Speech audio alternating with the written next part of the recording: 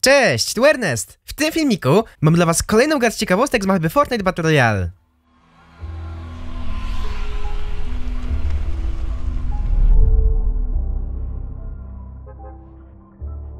Jakiś mogliście się mnie dowiedzieć, w kilka gry Lucas 7 Yoshi doczekał się grafiki mapy, która jest cała pokryta śniegiem. Pierwsze przypuszczenia graczy mówiły, że będzie to mapa na czas wydarzenia 14 dni Fortnite. Ale jednak się okazało być inaczej. I wygląda na to, że mapa będzie krok po kroku pokrywana śniegiem.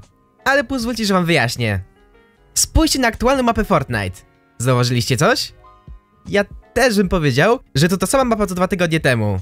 Jednak jeden z użytkowników Reddita, o niku Burning Tooth, zauważył, że śnieg pomalutko pokrywa coraz większy obszar mapy. Aby możliwe było to zauważyć, udostępnił porównanie mapy z pierwszego dnia do dzisiejszego. Obok siebie.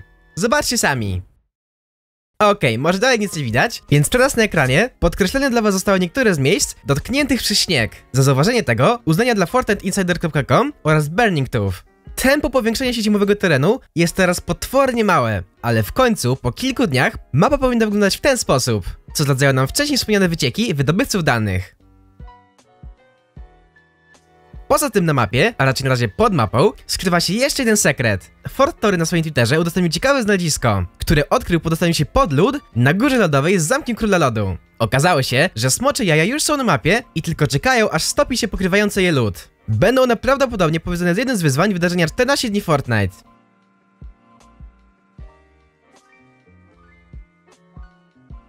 Kilka gry skrywają się jeszcze dźwięki dla tego obiektu, które te właśnie jajka będą wydawać, tak samo jak to było z gnomkami czy kaczuszkami. Posłuchajcie sami.